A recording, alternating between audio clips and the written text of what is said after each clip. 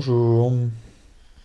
Dans cette euh, démonstration, nous allons essayer de passer en revue quelques structures de données générales et disponibles euh, en standard dans Java. Donc on va d'abord euh, créer un projet Eclipse dédié à cela.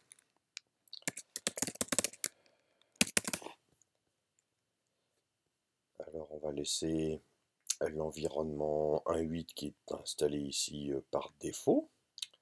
Ça nous suffira euh, bien largement. Alors dans ce projet bien sûr on va euh, se créer une nouvelle classe principale qui va contenir notre main.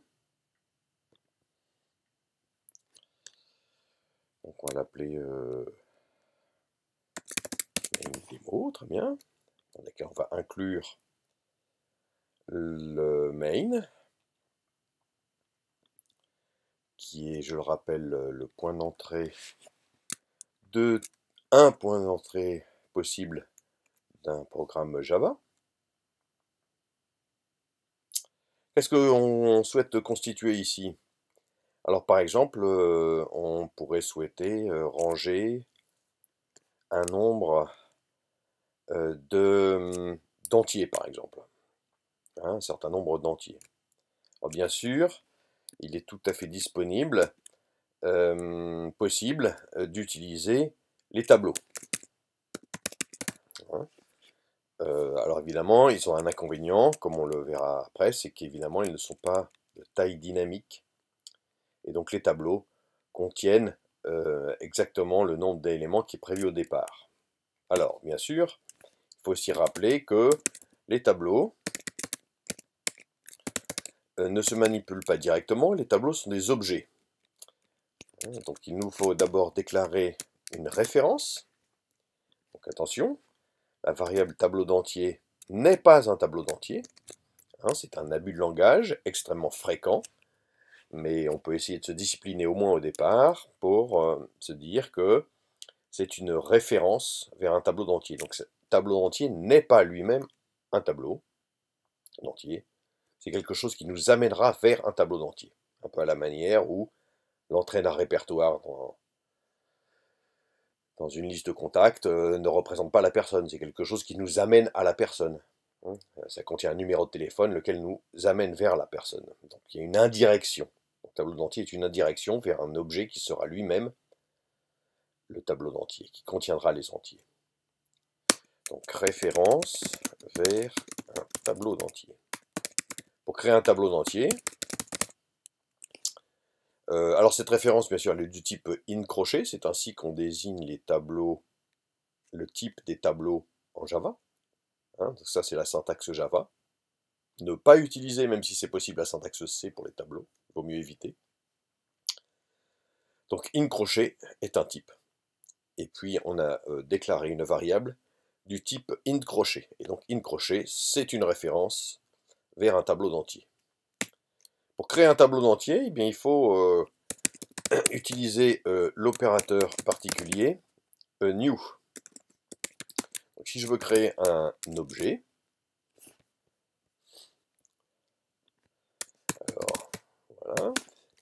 Si je veux créer un objet, je n'ai pas d'autre moyen en Java que d'utiliser new. Donc euh, quand je fais new, je dois euh, cette fois indiquer les caractéristiques de ce tableau d'entier, autrement dit sa taille. Donc cette fois, euh, je dois indiquer que je souhaite créer un nouveau tableau d'entier de taille 12. Et ceci crée effectivement l'objet tableau d'entier. On remarquera qu'au-dessus, quand j'ai déclaré une référence vers un tableau d'entier, je n'ai pas précisé la taille. Hein, la référence peut désigner tout tableau d'entier, quelle que soit sa taille. Mais quand j'instancie, quand je crée un tableau d'entier, via l'opération new int crochet de 12, je crée effectivement un tableau d'entier.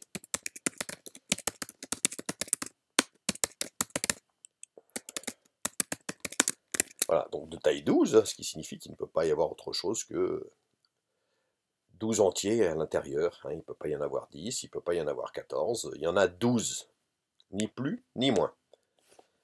Et ce euh, new int me renvoie une valeur spéciale que je ne peux pas manipuler directement, ça n'a aucun intérêt, je ne peux pas la visualiser. Euh, la seule chose que je peux faire, c'est de la ranger dans une référence. Évidemment, une référence du bon type. Donc, euh, comme tableau d'entier est une référence vers un, objet tableau d'entier, référence possible, hein, eh bien, ici, l'affectation fait en sorte que tableau d'entier désigne maintenant ce fameux, cette variable tableau d'entier me désigne le tableau d'entier. Donc cette variable référence tableau d'entier me désigne un tableau d'entier. Et donc l'utilisation de ce tableau d'entier, donc l'utilisation de ce tableau d'entier euh, s'effectue euh, comme on peut l'imaginer.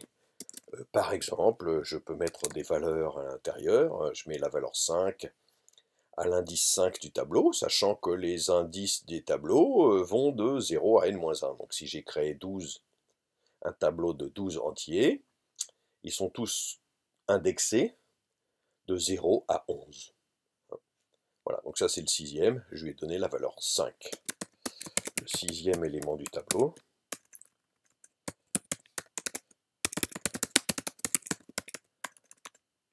Euh, la valeur 5.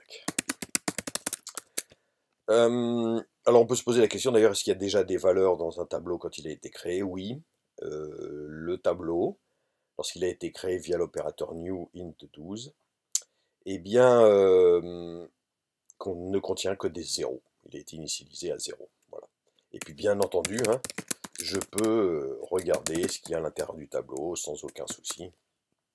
Si je veux regarder quelle est la valeur du sixième élément du tableau, il me suffit de l'afficher. Donc une compilation devrait suffire pour euh, obtenir le résultat 5, comme je le vois ici.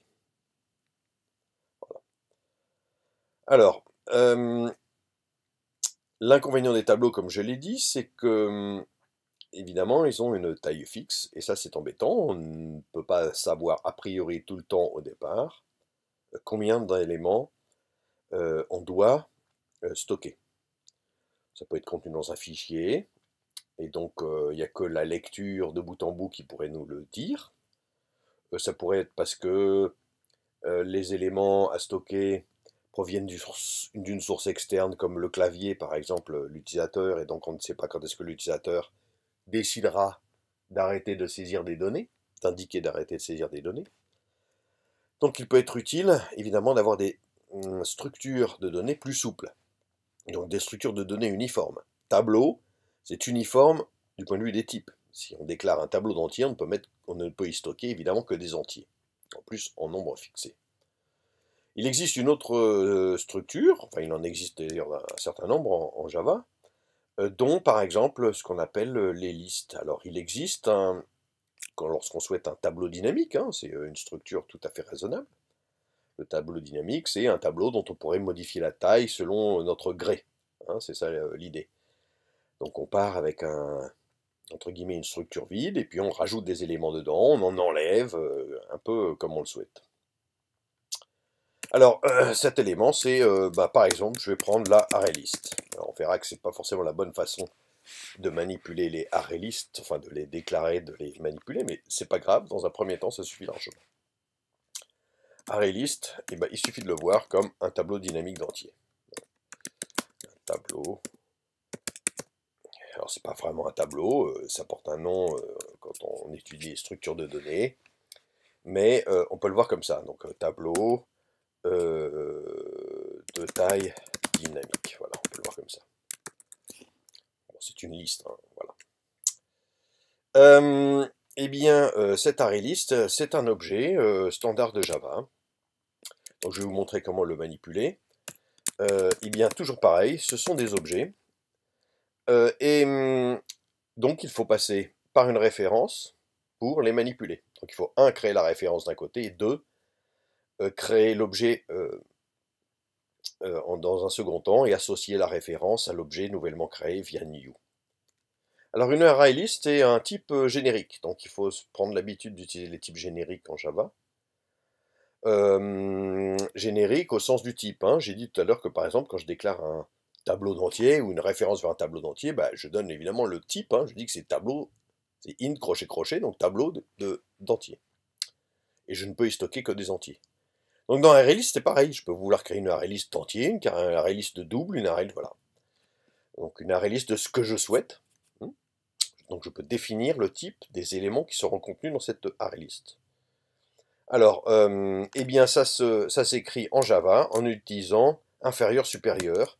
Et entre les deux, on indique le type euh, des éléments.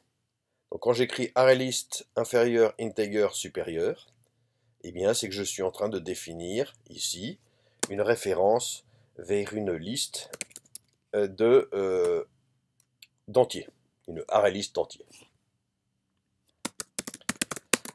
Alors, euh, évidemment, la Java euh, râle, euh, en tout cas l'IDE râle, Eclipse râle parce qu'il ne connaît pas ArrayList, mais évidemment, il me fait la proposition de résoudre ce problème, et notamment bah, d'importer le ArrayList qui se trouve dans Java Util. Donc, comme je l'ai déjà mentionné, Java Util est un package qui contient un certain nombre d'objets utilitaires d'usage courant donc les structures de données les plus courantes, comme ArrayList, euh, se trouvent décrites dans le package Java Util.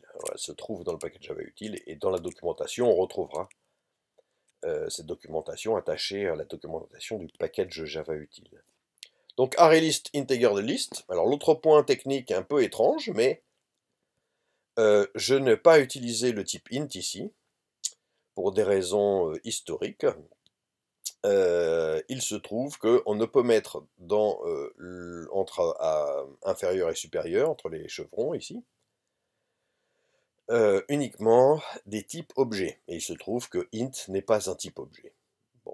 Aucun des types primitifs, tels que j'en ai parlé précédemment, c'est-à-dire byte, short, int, long, double, float, boolean, aucun de ces types ne sont des types objets. Et malheureusement, ces structures de données ne peuvent accepter que des objets. Pour, euh, euh, régler cette question-là, Java permet de, donc propose pour chaque type primitif qui n'est pas objet, un type objet correspondant. Donc associé au type int, il existe un type integer. Et donc le fait que c'est un type objet est suggéré évidemment par le fait que son nom commence par une majuscule. Hein, les types primitifs ont tous des minuscules. Donc integer, c'est le type objet qui correspond à int. Il se trouve que Java gère très bien la conversion entre integer et int sans aucun souci. Alors, euh, donc si je souhaite stocker des int dans une ArrayList, eh ben je vais me déclarer une ArrayList de integer. Donc ces types-là s'appellent des types wrapper. Integer, les types wrapper euh, de euh, int. Donc maintenant, comment créer mon array list? Eh bien, euh, je vais tout simplement utiliser une notation qui me permet de créer un objet normalement. Hein. il faut juste se rappeler que les tableaux ne sont pas des objets tout à fait ordinaires. Ils sont un petit peu particuliers, mais ok. Et puis, euh, et puis euh, donc, euh, la création des objets s'effectue via le new, le type de l'objet, puis la plupart du temps, entre parenthèses, éventuellement des paramètres. Hein. donc ça, c'est, on verra ça quand on créera des objets. Mais ça, pour l'instant, on peut le prendre comme une formule magique pour les ArrayList. Ça me permet de créer une ArrayList vide. Création d'une ArrayList vide. Et puis quand je veux ajouter des éléments, eh bien c'est très simple. J'ai une fonction qui s'appelle add. Donc si je veux ajouter un élément, par exemple 12, eh bien j'ajoute l'élément 12. C'est aussi euh, simple que ça. Donc si je veux rajouter un autre élément 666, il suffit que je fasse add. Add a une particularité, c'est que simplement, dans une liste déjà existante, si je fais add, ça rajoute un élément en fin de liste. Donc c'est ajout en fin de liste. Si je veux rajouter une position spéciale, il y a des tas, de méthodes pour le faire. Donc, si j'ai fait un ajout de 12 et puis de 666, je dois me retrouver avec une liste euh, qui contient les deux dans cet ordre-là.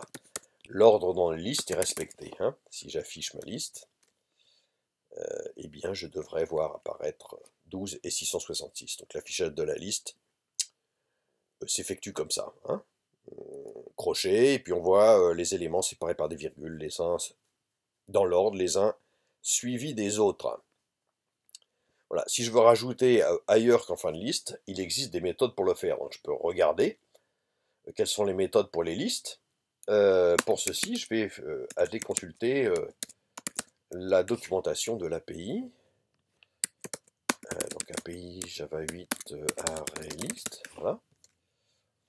Alors, hop, on va regarder. ArrayList Java 8, à quoi ça ressemble? Alors, c'est un petit peu compliqué encore euh, ce qui est écrit au-dessus, on ne sait pas encore tout lire, mais on verra bientôt, mais vous voyez qu'il y a une méthode add e, alors bien sûr, peut-être juste qu'il faut rappeler, c'est quand je vois écrit classe ArrayList de e, donc ça signifie bien que c'est un type d'objet, puisque c'est un type classe, ArrayList entre chevron inférieur-supérieur e, euh, e est la convention utilisée pour dire que, en fait, ici, c'est un argument qu'on peut modifier et qui sera censé représenter le type des éléments.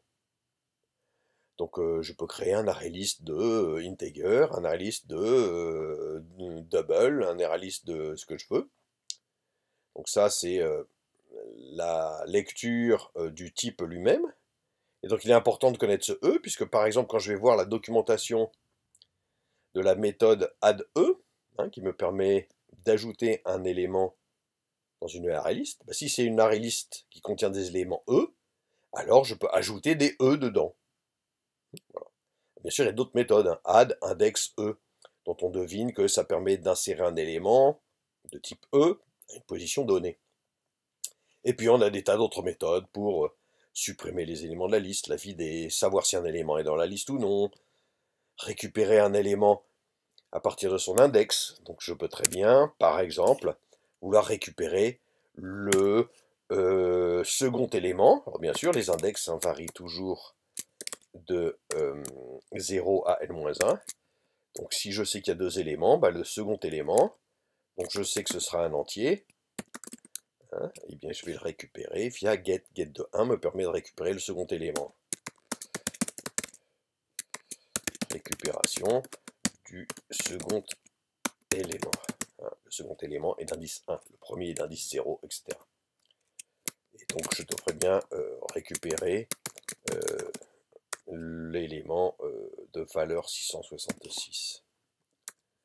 Voilà. Donc essayons. Voilà, très bien. Alors, si je veux lire ou passer tous les éléments en revue, eh bien, euh, il y a plusieurs façons de faire, mais en Java relativement moderne.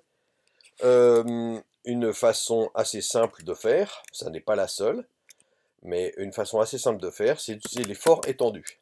Donc si je veux passer tous les éléments de la liste en revue, un par un, bien sûr je peux faire, entre guillemets, à l'ancienne, commencer, c'est-à-dire par exemple pour le tableau, Qu'est-ce que je vais faire Je vais dire, tiens, ben, pour i égale 0, i inférieur à 12, point virgule i alors je vais afficher les éléments du tableau. Euh, et, et l'élément indice. J'affiche l'indice. Je vais dire qu'il sera égal à, eh bien, euh, tableau qui est de i. Voilà. Je vais, supprimer cette boucle pour l'instant. Alors bien sûr, hein, ça va fonctionner, il n'y a aucun souci. Mais euh, ça me pose un petit euh, problème, c'est qu'évidemment, il faut que je maintienne euh, la cohérence entre la taille qui a été utilisée et la déclaration, du tableau, à la création du tableau, et puis la taille euh, qui va être utilisée pour passer les éléments en revue. Il faut que je me souvienne qu'il y en a 12. Hein. Donc euh, en Java, euh, il se trouve qu'on a un petit peu plus de chance. Les objets tableaux sont plus riches, ont une véritable réalité en Java, et donc sont plus riches du point de vue de leur utilisation que les pauvres tableaux du C. Et eh bien, ils ont une caractéristique particulière, Notamment, on peut connaître leur taille. Donc si je prends une référence vers un tableau, je peux connaître sa longueur en interrogeant le champ length des tableaux. Donc les tableaux sont non seulement une collection d'éléments euh, uniformes du point de vue de leur type, mais ont aussi des propriétés, et notamment ils ont une propriété qui est la longueur de ce tableau. Donc on peut connaître la longueur d'un tableau. Donc cette boucle fonctionnera même si je change le nombre d'éléments du tableau de départ qui était 12. Hein, je n'ai pas besoin de maintenir cette cohérence à tout point de vue, puisque elle a été internalisée, cette cohérence. Le tableau connaît sa longueur. Donc il suffit d'interroger le tableau pour obtenir sa longueur. Et donc euh, euh, ça fonctionnera à l'identique, même si je finis par créer un tableau de 8. Euh, la, modification de mon code, là, est bien plus faible que si j'avais dû écrire ce code en C, hein, puisque j'aurais été obligé de maintenir le fait, la cohérence entre le 8 qui est ici et puis la longueur ici, donc me débrouiller pour obtenir le 8 d'une manière ou d'une autre, stocké dans une variable ou par je ne sais quelle autre construction bizarre. Donc on reviendra sur cette question plusieurs reprises, mais euh, ici, en fait, ce que j'ai obtenu, c'est un découplage, un couplage plus faible qu'il n'y avait avant, puisque cette partie du code hein, est moins fortement couplée au 8 qui est là. Euh, le 8 est implicite, il a été euh, internalisé, et donc la modification du code a été beaucoup plus légère. C'est un bon signe de couplage faible entre des parties du code. Voilà. L'impact de la modification de la longueur du tableau à l'origine, n'a pas eu d'impact sur le reste du code. Voilà.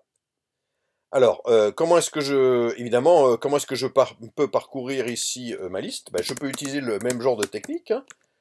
Je peux demander à parcourir pour tous les éléments. Alors, comment est-ce que je connais la, le nombre d'éléments d'une liste? Eh bien, c'est assez simple. les objets de type liste, ils ont aussi une une caractéristique euh, qui s'appelle size. pardon, je dois l'écrire évidemment, c'est i inférieur à size. Euh, hop, i voilà. Ah, pardon, i voilà. Et donc je vais simplement écrire les éléments. Je vais utiliser le même genre de euh, pour la liste. Hein, je vais utiliser le même genre de construction. Élément d'indice i, et puis ici ce sera liste Évidemment, je n'ai pas droit à la notation crochet pour les listes, ce sera simplement get. Alors je vais peut-être juste préfixer les messages quand même qu'on voit ici. Voilà. Donc maintenant je vais voir hein, euh, l'affichage des éléments de la liste. Il n'y a aucun souci. Liste, élément d'indice 0, il vaut 12. L'élément d'indice 1 vaut 666. Alors ça c'est la technique à l'ancienne. La technique plus récente, c'est de ne pas écrire ces boucles de cette manière-là, Hein, euh, mais de les écrire avec une boucle généralisée. D'abord, on voit que c'est pas complètement uniforme.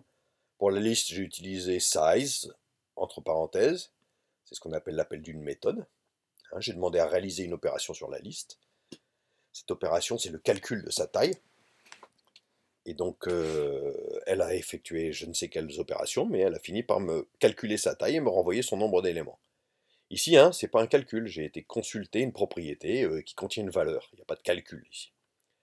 Donc c'est pas très uniforme, hein, déjà du point de vue de la syntaxe, c'est length de l'autre côté, puis ici c'est size, en plus c'est un appel de méthode, donc est-ce que ça pourrait s'uniformiser ces choses-là? Oui, oui, heureusement, en Java euh, un peu plus moderne.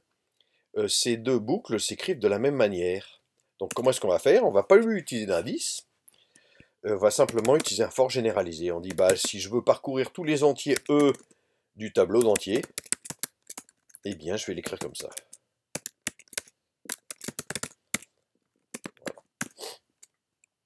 Et, eh bien, voilà, hein, ça c'est une boucle, donc c'est ce qu'on appelle habituellement, ou très souvent, un for each, mais ça veut dire que pour tous les entiers E du tableau d'entier, eh bien, je veux effectuer quelque chose. Alors évidemment, je n'ai plus d'indices, hein, je ne maîtrise plus leurs indices, mais euh, je vais dire euh, que j'ai trouvé valeur, et puis évidemment, c'est plus tableau entier de i, hein, je ne manipule les indices, mais j'ai e, je prends toutes les valeurs, j'extrais les valeurs. Donc je me fiche de leurs indices. Après tout, quand on parcourt un tableau, très souvent, c'est juste pour ressortir tous les éléments. L'ordre dans lequel on ressort n'est pas forcément le plus important.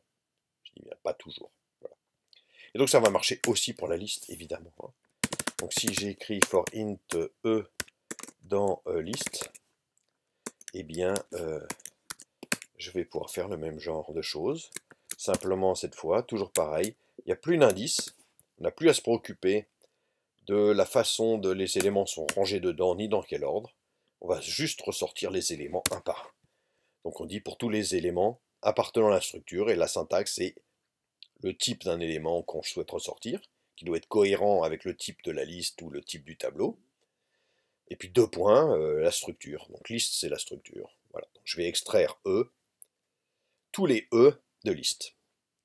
Euh, si j'affiche ça, évidemment, je devrais voir euh, bah, ma liste 12666, le tableau,